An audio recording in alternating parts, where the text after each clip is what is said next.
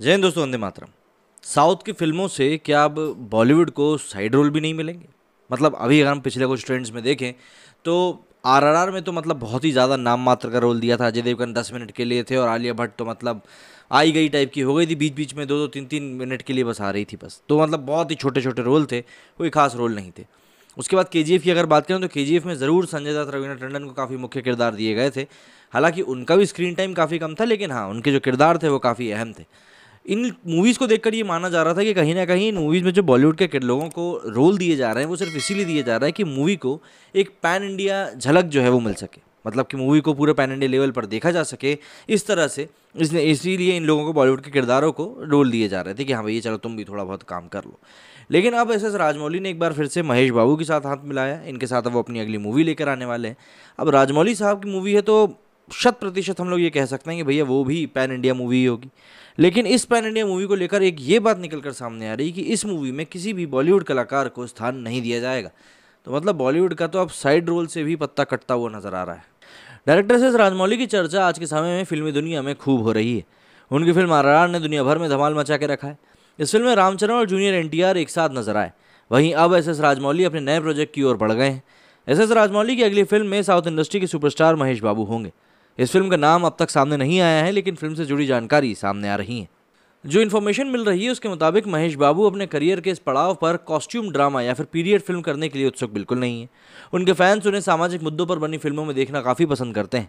बाहुबली और आर बनाने के बाद एस एस राजमौली के पास भी कई ऐसे आइडियाज़ हैं, जिसके ज़रिए वो महेश बाबू को फैंस की इन उम्मीदों पर सेट कर सकते हैं। इन फ़िल्मों में सबसे महत्वपूर्ण बात यह है कि एस एस राजमौली अपनी इस अनटाइटल्ड मूवी में बॉलीवुड की किसी भी पॉपुलर अभिनेत्री को नहीं लेने वाले। के जी चैप्टर टू में और पुष्पा द राइज में ऐसी अभिनेत्रियाँ थीं जो हिंदी पट्टी के दर्शकों के लिए नई थी, लेकिन इसके बावजूद लोगों ने इन अभिनेत्रियों को काफ़ी प्यार दिया। ऐसे में महेश बाबू की फ़िल्म को भी बॉलीवुड की किसी महँगी अभिनेत्री की कोई ज़रूरत नहीं है और ना ही उन्हें पैन इंडिया स्टार बनने की कोई लालसा है। वर्क फ्रंट की बात करें तो महेश बाबू की अपकमिंग मूवी सरकारू वारीपटा है, जो कि 12 मई को सिनेमाघरों में रिलीज़ हो रही है। इस फ़िल्म का निर्देशन परशुराम पेटला ने किया है और इसमें महेश बाबू के साथ कीर्ति सुरेश नज़र आने वाली हैं। फ़िल्म दोनों की जो जोड़ी है, वो काफ़ी खूबसूरत लग रही है और महेश बाबू का काम इसमें काफ़ी सराहा जा रहा है। लेकिन एस एस राजमौली ने जो बॉलीवुड के कलाकारों को लेकर जो ये नई एक बात शुरू कर दी है कि भाई, उनको किसी भी महँगे कलाकार की ज़रूरत नहीं है तो ज़ाहिर सी बात है, ये बॉलीवुड के लिए भी थोड़ा बहुत एक झटका टाइप का है, क्योंकि इससे एक बार फिर से नेगेटिव पब्लिसिटी ही लोगों के बीच में जाएगी। दरअसल बॉलीवुड की कई सारी ऐसी मूवीज़ सामने आई जिनका कि बजट सिर्फ़ और सिर्फ़ एक्टर्स की महँगी फ़ीस के कारण बढ़ गया। मतलब मूवी बनाने में इतना पैसा खर्च नहीं किया गया जितना कि फ़ीस में खर्चा कर दिया गया।